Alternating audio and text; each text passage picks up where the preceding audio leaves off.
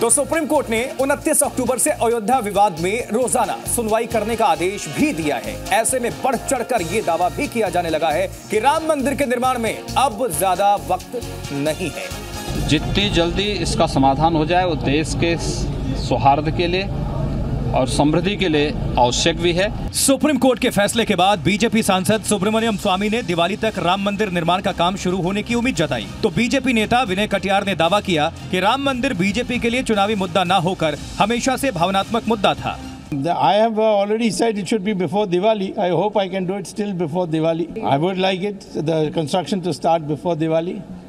जो हो 2019 के पहले हो हम चुनाव के फ़ायदा और नुकसान की बात नहीं देख रहे। अगर फ़ायदे की बात होती तो नरेंद्र मोदी इसको जाने कब घोषणा करते।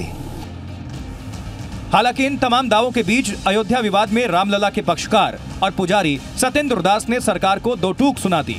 कोर्ट हमको कर, हमको राम मंदिर का निर्णय करेगा तो इसमें सरकार का क्या मतलब? सरकार माने कुछ नहीं। सरकार पर अध्यादेश लाने का दबाव बना रही विश्व हिंदू परिषद ने भी साफ़ किया कि अब इस राम मंदिर को लेकर और देर बर्दाश्त नहीं की जाएगी। और हम विश्वास भी करेंगे सुप्रीम कोर्ट से अपेक्षा भी करेंगे कि इस सुनवाई को तेज़ी से पूरा किया जाए और जल्दी सुप्रीम कोर्ट का फैसला आए। सुप्रीम कोर्ट के फैसले से पहले अयोध्या विवाद के मुस्लिम पक्षकार हाजी महबूब के रुख में भी बड़ा बदलाव दिखा। मैं तो आज कहता हूँ मंदिर बनाओ।